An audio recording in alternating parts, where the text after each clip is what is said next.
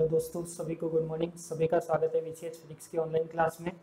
हम logic circuit वाला chapter पढ़ रहे थे तो हमने जो छह तरह के गेट थे अपने पास और एंड नॉट नेर नॉर नैंड और एक्जोर ये छह गेट इसके जस्ट पीछे वाली क्लास हुई थी, उसमें हमने पढ़ लिए थे।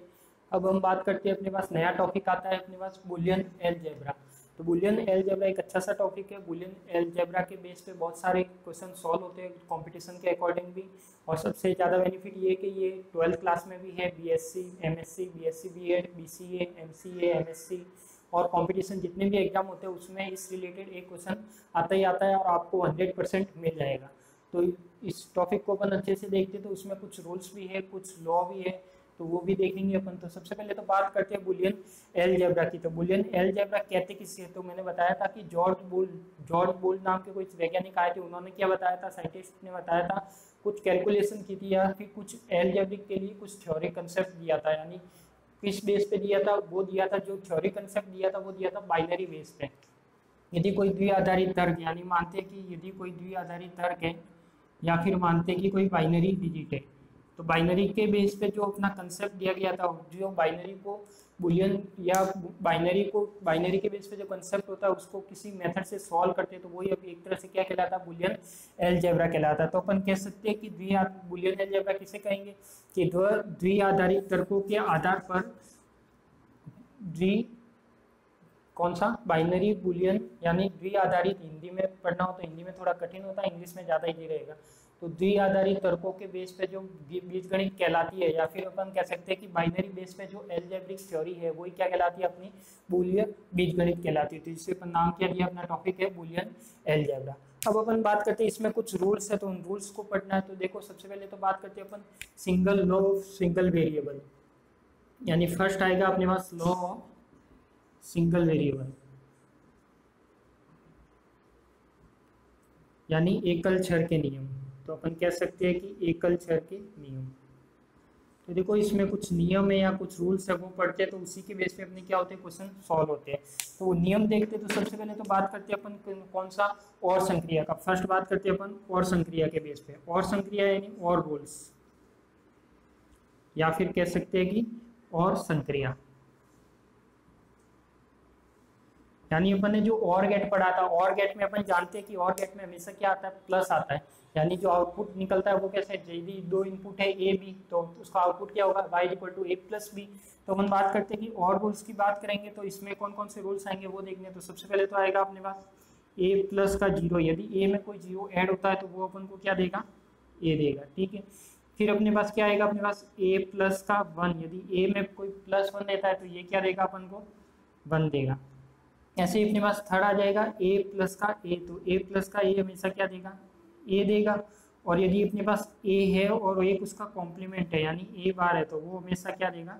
ज़ीरो देगा। तो ये वाले कुछ रूल्स है जो आपको याद रखने हैं तो ये तो किस बेस पे थे? और रूल्स के, यानी और संख्या और गेट के बेस पे। यानी और गेट का मीनिंग है कि बीच में क्या आना चाहिए? मल्टीप्ले वो सॉरी एड आना चाहिए। तो ये हो जाएगा A plus zero is equal to A तो A plus zero is equal to A हो गया। A plus one is equal to A A plus A is equal to भी क्या होगा? ए और A plus A bar is equal to A अब इसमें ध्यान रखना कि जो भी आप क्वेश्चन सॉल्व करेंगे अपन तो उसमें क्या होगा? यदि यहाँ पे बी प्लस वन आता है तो भी वो क्या होगा? बी तो यहाँ पे ज़रूरी मैंने ये लिखा है तो कि हमेशा ए ही होगा। यहाँ कोई भी वर्ड आ सकता है ए बी सी डी कोई भी हो सकता है तो उसकी जगह आप क्या कर सकते हो? यदि प्लस वन आता है तो उसका वैल्यू कितनी होगी? वन फिर अपन बात करते हैं, ये तो था अपना फ़र्स्ट रूल यदि सेकंड रूल की बात करें तो ये तो किस बेस पे था? और संक्रिया के बेस पे। सेकंड बात करते हैं अपन एंड संक्रिया के बेस पे, यानी एंड रूल्स तो यदि एंड रूल्स की बात करें तो यानी एंड संक्रिया की बात करें तो तो इसमें भी सेम वही अब इसमें क्या होगा अपने पास? जो डॉट जो यहाँ पे ऐड हो रहा था तो यहाँ पे ऐड की जगह क्या आएगा अपने पास? मल्टीप्लाई आएगा। यानी क्या आएगा अपने पास? डॉट आएगा। तो देखो अपने पास यदि ए का ज़ीरो से मल्टीप्लाई होता है तो वो क्या देगा हमेशा? ज़ीरो देगा। ऐसे ही अपना ए का वन से मल्टीप्लाई होगा तो क्या देगा? ए देगा। ऐसे ही अपने पास ए का ए के साथ मल्टीप्लाई होगा तो क्या देगा? ए देगा। और ऐसे ही अपने पास ए का ए का कॉम्प्लीमेंट होगा तो क्या देगा? ज़ीरो देगा। तो ये कुछ इंपॉर्टेंट रूल्स है जो आपको याद वैसे दिमाग में आ जाएँगे, कोई ज़्यादा कठिन काम नहीं है। तो ए कौन सा हो गया? और रूल्स तो हो गया ये वाला एंड रूल्स हो गया ये वाला। फिर अपन बात करते हैं थर्ड रूल्स एक और आता है जिसे बोलते हैं कॉम्प्लीमेंट्री रूल्स कॉम्प्लीमेंट्री रूल्स यानी क्या होगा वो अपने पास? पूरकता का नियम। सी दे देते हैं अपन पूरकता का नियम। पूरकता का नियम। तो कॉम्प्लीमेंट्री रूल्स क्या कहता है?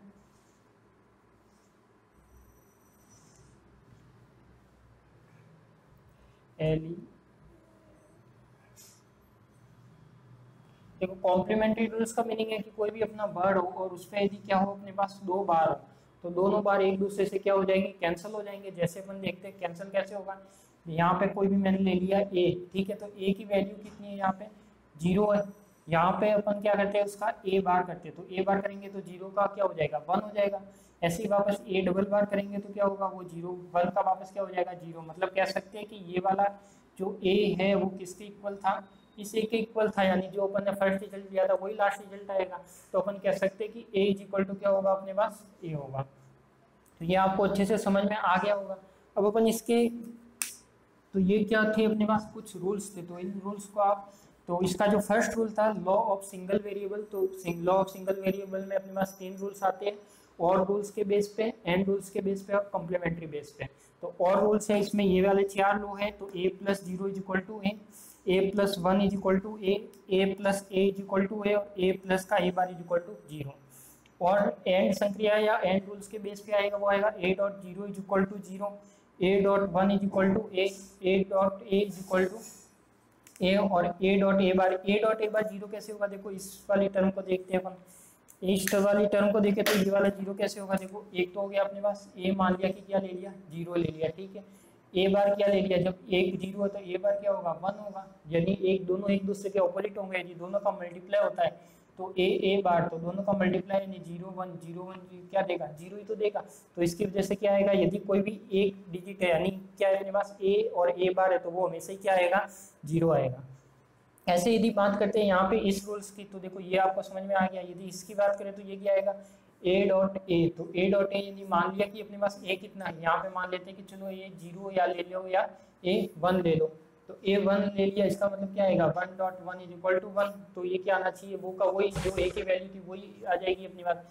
यदि यहाँ पे ज़ीरो लेते A is equal to zero तो ज़ीरो डॉट ज़ीरो क्या आता? है ज़ीरो आता है यानी ज़ीरो की वैल्यू किसके इक्वल थी? ए के इक्वल तो क्या आ जाएगा result A dot A is equal to A फिर अपन बात करते हैं कि इसकी थर्ड वाले की तो थर्ड वाला सीधा सा कंसेप्ट है ए की चाहे कोई सी भी वैल्यू हो तो वो क्या आएगा अपने पास? ए डॉट यदि ए डॉट क्या है one is equal to A आएगा। तो ये आपको समझ में आ गया होगा। तो ये थे अपने पास जो फ़र्स्ट बुलियन एलजेब्रा का जो लॉ सिंगल वेरिएबल है, उसमें जो फ़र्स्ट रूल जो इसमें तीन तरह के रूल है अपने पास, और बेस पे एंड बेस पे और कॉम्प्लीमेंट्री बेस पे। फिर अपन बात करते हैं, कुछ और रूल्स भी होते हैं जो आप अच्छे से पढ़ के आए यदि इसमें बात करते हैं सेकेंड लॉ की। ये फ़र्स्ट लॉ के अंदर ही तीनों रूल्स थे।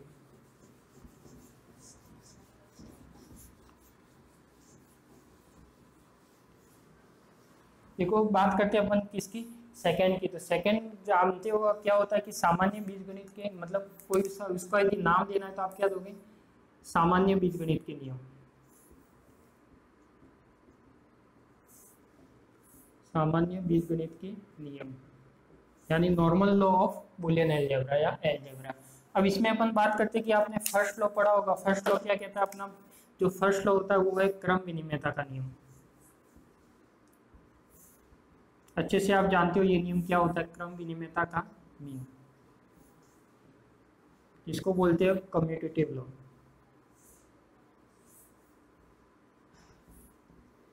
तो कम्यूटेटिव लॉ क्या होगा अपने को? वो देखना है। तो देखो, यदि अपन बात करें और बेस पे या एंड बेस पे, दोनों के लिए देखते हैं तो दोनों को और का भी देखेंगे और एंड का भी देखेंगे। यदि अपन बात करते किसका? और बेस पे। और बेस पे या और संक्रिया पे बात करें तो देखो अपने पास क्या आना चाहिए? ए प्लस का बी है। तो कॉम्पिटेटिव लोग क्या कहता है? उसकी सीरीज़ चेंज करने पर उसमें कुछ भी चेंज नहीं होगा। तो A is equal to B है तो बी प्लस क्या आएगा? ए आएगा। यानी अपन कह सकते हैं कि यदि इनपुट का कोई भी गेट है, मान लिया कि कौन सा गेट ले लिया अपन ने? और गेट उसका यदि इनपुट ए प्लस बी है या फिर बी प्लस ए है तो उसके आउटपुट में कुछ भी डिफरेंस नहीं आएगा। कैसे नहीं आएगा? ये वाला क्या हो गया? अपना और गेट हो गया। ये वाला और गेट हो गया। इसका इनपुट क्या ले लिया? अपन ने ए भी ले लिया। तो ये ए भी हो गया। ये क्या हो गया अपने पास? एक और और गेट ले लिया। इसका ए भी ले लिया। अब देखो दोनों की वैल्यू के बेस पे देखते हैं। तो ये कैसे आएगा अपने पास? यदि बात करता हूँ मैं इसकी, मान लिया कि ये वाला क्या है? ए की वैल्यू क्या ले ली? वन, और बी की वैल्यू ले ली ज़ीरो तो इसमें क्या करना है? इसमें मैंने सीरीज़ उल्टी कर दी। यानी पहले बी ले लिया, फिर ए ले लिया। तो इसको ज़ीरो और वन इसका आउटपुट क्या आएगा? वन प्लस ज़ीरो वन ही देगा।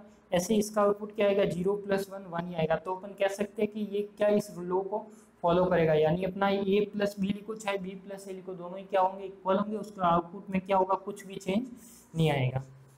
सेकेंड रूल की बात करते हैं। ये तो किस बेस पे था? और बेस पे। यदि एंड बेस पे बात करें तो एंड बेस में क्या होता है? अपने पास मल्टीप्लाई होता है। यानी मैं लिख सकता हूँ कि A B is equal to B A तो इसमें भी सेम वही कंसेप्ट है। ये अपना एंड गेट हो गया। एंड के लिए बात करें तो ये ए बी हो गया, ये भी एंड गेट हो गया, ये क्या हो गया अपना? बी ए हो गया। जब इसमें बात करते हैं ए बी ज़ीरो मान लिया कि इसकी वैल्यू ले लेते हैं ज़ीरो और वन तो यहाँ पे क्या हो जाएगा? ए ज़ीरो और बी वन ठीक है? तो इन दोनों का ज़ीरो और वन का आउटपुट क्या आएगा? ज़ीरो आएगा, यहाँ पे भी क्या आएगा? ज़ीरो कुछ भी चेंज नहीं होगा। यानी ये भी क्या करेगा? क्रम विनिमयता नियम का पालन करेगा, यानी कम्यूटेटिव लॉ फॉलो करेगा। तो जो अपना फ़र्स्ट लॉ था, वो तो क्या था? ये वाला क्रम विनिमयता का नियम। तो उसमें हो जाएगा और बेस पे हो जाएगा और दूसरा क्या हो जाएगा अपने पास? ये हो गया और बेस पे और ये हो गया एंड बेस पे। अब यदि बात करते हैं अपन सेकेंड नियम आता है। सेकेंड नियम जिसे बोलते हैं अपन साक्षरता का नियम। क्या नाम है उसका? साक्षरता का नियम या साक्षर्य का नियम? एसोसिएटिव लॉ तो साक्षरता का नियम क्या होगा?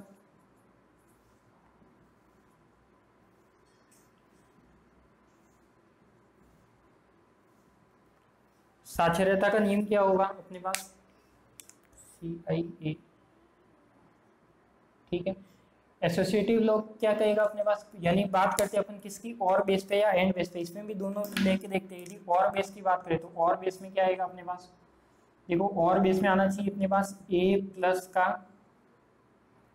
बी प्लस का सी है। यदि मैं इसको किसके इक्वल लिखूँ? यदि इसको मैं ऐसे भी लिख सकता हूँ। A plus B plus C और इसको मैं ऐसे भी लिख सकता हूँ A plus B plus C तो इसको आप यदि देखते हो, यदि मैं इसका एग्ज़ाम्पल लेके बताऊँ, मान लिया कि अपने पास किसी और गेट की बात हो रही है तो ये और गेट बना लिया अपन ने। ये और गेट बन गया, ठीक है? इसमें तीन आउटपुट लेने तो कौन से आउटपुट ले लिए? ए बी और सी ठीक है? इसकी मैं वैल्यू ले लेता हूँ, मान लो वैल्यू कुछ भी ले लो वन ज़ीरो वन ले लो। अब देखो, इसका आउटपुट आना चाहिए, वो आउटपुट क्या आएगा अपने पास? इसका आउटपुट आना चाहिए, वो क्या आएगा अपने पास? वन ज़ीरो वन यदि अपने पास ये वाला गेट है, ये वाला गेट है तो इसका आउटपुट क्या देखा जाएगा? वन ज़ीरो वन यानी अपन ने तीन वैल्यू ली तो इसमें देखो, यदि मैं यहाँ पे वैल्यू रखता हूँ तो ए प्लस बी यानी ए कितना है? वन प्लस बी कितना है? ज़ीरो प्लस सी कितना है? वन देखो ज़ीरो प्लस वन वन और वन और वन भी कितना देगा अपन को? वन दे देगा। ऐसे यदि इसमें वैल्यू रखता हूँ तो ये क्या आएगा अपने पास? यदि इसमें वैल्यू रखे तो क्या आएगा अपने पास? A plus B plus C तो ए प्लस बी तो ए प्लस बी कितना देगा? देखो, यहाँ पे ए कितना है अपना वन बी कितना है ज़ीरो, और ये ब्रैकेट बंद हो जाएगा प्लस का सी तो ये भी सी कितना है? सी की value one. One plus zero, one, और वन और वन क्या देगा? वन। तो अपन कह सकते हैं कि दोनों की वैल्यू कैसी आ रही? सेम आ रही। तो ये क्या करेगा? इस नियम को फॉलो करेगा, यानी कह सकते हैं कि ये वाला नियम क्या है अपना? सही है। तो ये तो किस बेस पे था अपना? और बेस पे। यदि अपन बात करें किस बेस पे? एंड बेस पे। तो एंड बेस पे क्या आएगा अपना नियम? जो लो आएगा वो। एंड बेस पे आएगा अपने पास, जैसे अपने पास क्या है? ए बी और सी है, ठीक है? इसको मैं लिखता हूँ। ए बी सी या फिर इसको मैं लिख सकता हूँ ए बी सी इसको भी आप इसी तरह के एग्ज़ाम्पल से समझ सकते हो। कौन सा गेट बनाना अपन को एंड के लिए बनाना है। तो जब एंड गेट की बात करेंगे तो ये अपना क्या हो गया? एंड गेट हो गया। इसमें भी क्या करते हैं अपन? ए बी और सी लेते हैं। तो ये ले लिया ए बी सी वही वैल्यू ले लेते क्या? वन ज़ीरो और वन ये कोई सा भी कॉम्बिनेशन एक एग्ज़ाम्पल के तौर पर बता रहा हूँ। तो ये क्या हो जाएगा? ए बी सी यदि ए बी सी देखो यहाँ पे वैल्यू रखते ए कितना वन बी सी कितना है? ज़ीरो और वन तो ज़ीरो और वन तो क्या देगा? ज़ीरो देगा और ज़ीरो के साथ ज़ीरो देगा तो ये ज़ीरो आएगा। इसका क्या आएगा? देखो ए बी कितना है? ए वन है बी कितना है? ज़ीरो है सी कितना है? वन है। तो ज़ीरो वन क्या आएगा? ज़ीरो और वन ज़ीरो और वन क्या आएगा? सॉरी ज़ीरो तो अपन कह सकते हैं कि इसमें भी क्या है, दोनों के वैल्यू सेम है, इसका अपन कह सकते हैं कि ये भी मेथड को क्या करेगा? फॉलो करेगा। तो ये क्या हो जाएँगे अपने? एक तो हो जाएगा कम्यूटेटिव लॉ दूसरा हो जाएगा एसोसिएटिव लॉ तो ये दोनों और बेस पे भी होगा एंड बेस पे भी होगा। यानी अपन कह सकते हैं कि कोई भी गेट है गेट पे यदि ये इनपुट लगाए तो इनके सीरीज़ में यदि परिवर्तन कर दे, चाहे ए भी लिखो, चाहे बी ए लिखो, कुछ भी चेंज नहीं करेगा। ऐसे यदि एसोसिएटिव लॉ की बात करते हैं तो और बेस और एंड बेस की बात करते हैं। और बेस में क्या होगा? अपने पास वही A plus B plus C किसके इक्वल होगा? ये तीनों की वैल्यू इसके इक्वल होगी और ए बी सी है वो इसके इक्वल होगा? फिर अपन बात करते हैं नेक्स्ट आता है अपने पास एक डिस्ट्रीब्यूटिव लॉ यानी जिसे बोलते हैं अपन वितरण का नियम। यानी इसी के बेस पे है अपना जो थर्ड लॉ है।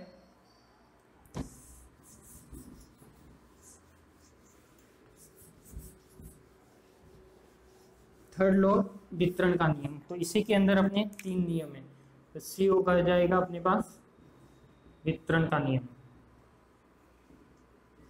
यानी डिस्ट्रीब्यूटिव लॉ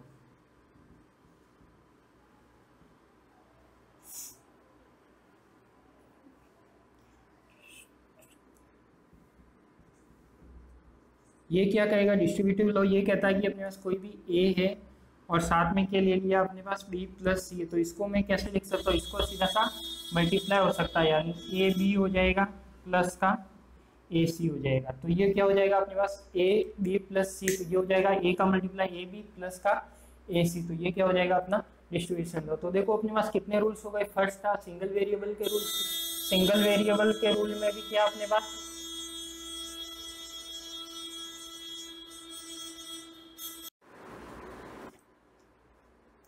सॉरी वो कुछ गाड़ी की आवाज़ आ रही थी, उसकी वजह से वीडियो को रोक दिया था।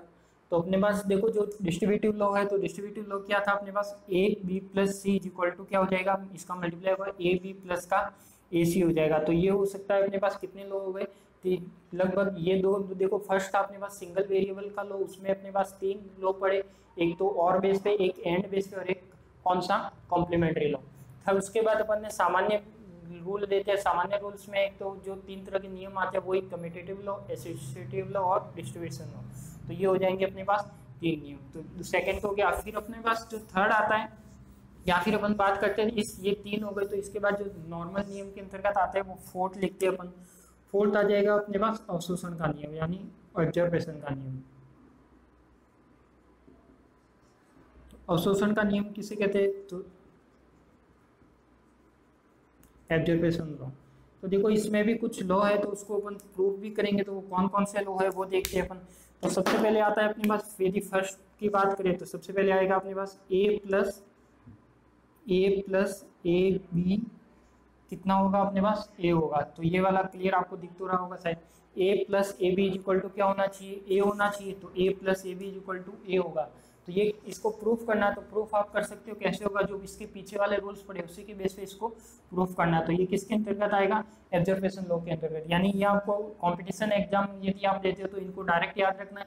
यदि आप बोर्ड के बेस पे देते हो तो आप प्रूफ करके भी इसको निकाल सकते हो। तो बोर्ड में जो पूछा जाता है, वो प्रूफ करके पूछा जाता है। तो ट्वेल्थ में भी इस टाइप के क्वेश्चन आते हैं। तो ए प्लस बी जिसको प्रूफ करना है तो देखो कैसे करोगे? प्रूफ तो प्रूफ आएगा, देखो अपने पास क्या कॉमन आ रहा है। ए कॉमन आ रहा है तो वन प्लस क्या हो जाएगा? बी हो जाएगा। तो अपन जानते हैं कि one plus B one plus B यानी और बेस पे जो अपन ने रोल पढ़ा था ए प्लस का वन वो हमेशा क्या देता है?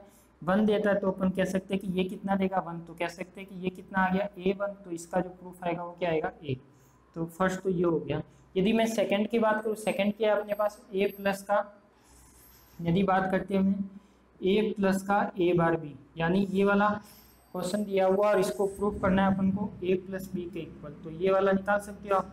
देखो ये वाला कैसे आएगा अपने पास। यदि मैं इसकी बात करूँ A plus A bar B is equal to क्या अपने पास? ए प्लस बी तो इसमें भी वही पीछे वाले रूल्स काम में लेते हुए इसको प्रूफ करना है। तो देखो ये प्रूफ होगा अपने पास, कैसे होगा अपने पास? A plus A bar B यानी इसका प्रूफ करें तो क्या हो जाएगा? देखो यहाँ पे ए प्लस ए बार बी है, इसको मैं लिख सकता हूँ ए यहाँ पे कुछ नहीं है तो वन लिख सकता हूँ तो ए बार बी हो जाएगा।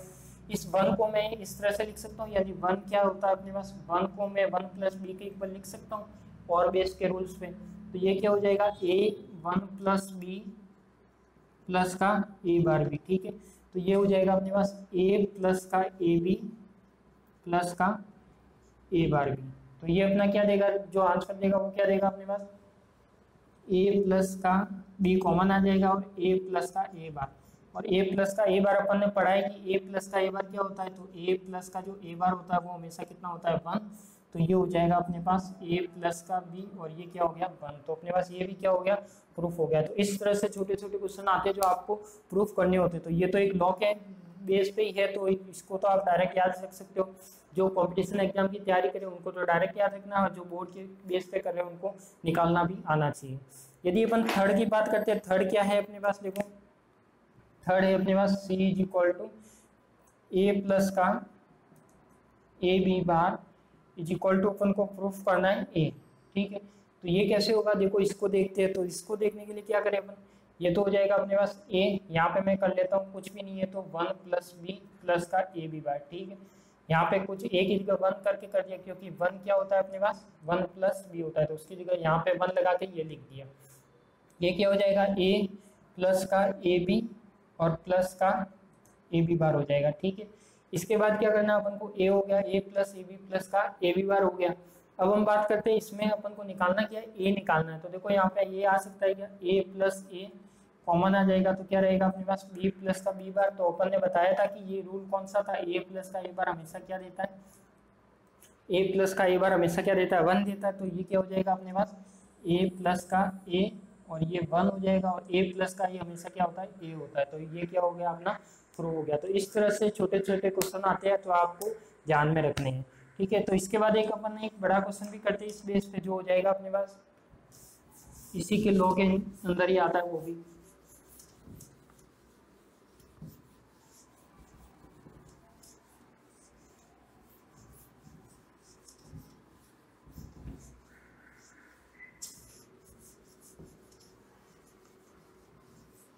देखो जो थर्ड क्वेश्चन है अपने पास, एक कोई भी डे मान लो कि a प्लस बी सी दे रखा है और जो अपन को प्रूफ करना है, वो करना है ए प्लस बी और ए प्लस सी प्रूफ करना है। ये वाली चीज़ क्या करनी है अपन को? प्रूफ करनी है। तो ये देखो, ये वाला प्रूफ हो सकता है क्या? तो सबसे पहले तो क्या करें, इसको सॉल्व करते हैं। तो देखो, ये वाला लेफ़्ट हैंड साइड ले लेते हैं अपन। लेफ़्ट हैंड साइड क्या अपने पास? A प्लस का बी सी इसको मैं लिख सकता हूँ ए की जगह वन प्लस का बी सी देखो तो ये हो जाएगा अपने पास। अब इस वन को मैं क्या लिखूँ? इस वन को मैं लिख सकता हूँ यहाँ पे one is equal to one plus B तो ये हो जाएगा A one plus B plus का। बी सी हो जाएगा। अब अपन बात करते हैं कि ये क्या हो गया? ए प्लस का ए बी प्लस का बी सी हो गया। ठीक है? अब मैं बात करता हूँ कि यहाँ पे कुछ नहीं है तो ये इसको मैं लिख सकता हूँ। इसको भी वन लगा के सी की फॉर्म में लिख सकता हूँ। तो प्लस बी सी तो यहाँ पे देखो ये क्या हो जाएगा? यदि मैं वन को क्या लिखूँ? वन प्लस का सी ठीक है? तो ये हो जाएगा अपने पास A one plus C plus का ए बी और प्लस का बी सी हो जाएगा। इसको मैं लिख सकता हूँ, देखो ए प्लस का ए सी प्लस का ए बी प्लस का बी सी ठीक है? आगे क्या होगा? आगे होगा, देखो, इसके आगे मैं क्या करूँ? इसको मैं ए डॉट ए लिख सकता हूँ। यानी हमेशा ए डॉट ए क्या होता है यहाँ पे अपना? ए तो होता है तो इस ए की जगह मैं क्या कर सकता हूँ? दो ए लिख सकता हूँ तो ये क्या हो जाएगा? ए ए प्लस का ए सी ए सी प्लस का ए बी प्लस का हो जाएगा ए बी और प्लस का हो जाएगा बी सी ठीक है? तो ये हो जाएगा, देखो अपने पास अब इसमें से कुछ कॉमन आ रहा है तो वो कॉमन ले लो। तो देखो यहाँ से मैं यदि कॉमन निकालता हूँ तो यहाँ पे ए कॉमन आएगा तो क्या रहेगा अपने पास? ए प्लस सी यहाँ पे कॉमन आएगा अपना बी तो ये क्या रहेगा अपना? ए प्लस सी देखो, ये भी ए प्लस सी है, ये भी ए प्लस सी तो एक गुणनखंड के रूप में बन रहा है। तो ये क्या बन जाएगा अपना? ए प्लस सी और ए प्लस बी और शायद अपन को यही प्रूफ करना था तो यही क्या आ गया अपना? प्रूफ आ गया। तो यही क्या है अपनी राइट हैंड साइड तो ये क्या थे अपने पास? ये थे अपने पास जो बुलियन एलजेब्रा के लो है, वही बुलियन एलजेब्रा के लो थे। अब अपन बात करते हैं थ्योरम आती है, छोटी सी थ्योरम है इसी बेस पे। तो उसका नाम है द मॉर्गन नियम जैसे ये सब जो मैं आपको करवा रहा हूँ, ये आपको वीडियो के एंड में नोट्स की फॉर्म में सब डले हुए तो आप उसको आराम से देख के स्क्रीनशॉट लेके लिख सकते हो। अब इसी के बेस पे आती है, अपने पास क्या आती है? द मॉर्गन की प्रमेय।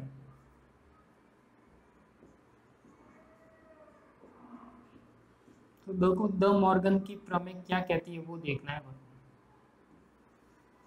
द मॉर्गन की प्रमेय क्या कहती है? तो द मॉर्गन की प्रमेय यानी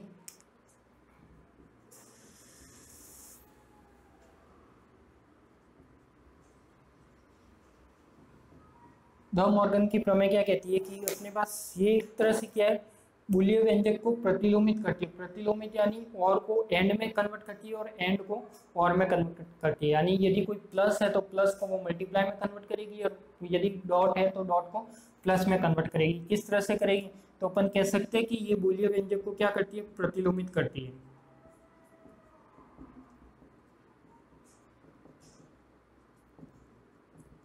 क्या करती है? बुलिय व्यंजक को प्रतिलोमित प्रतिलोमित यानी उसका रिवर्स करना, यानी एंड को और में कन्वर्ट करेगा और और को किसमें करेगा? एंड में करेगा।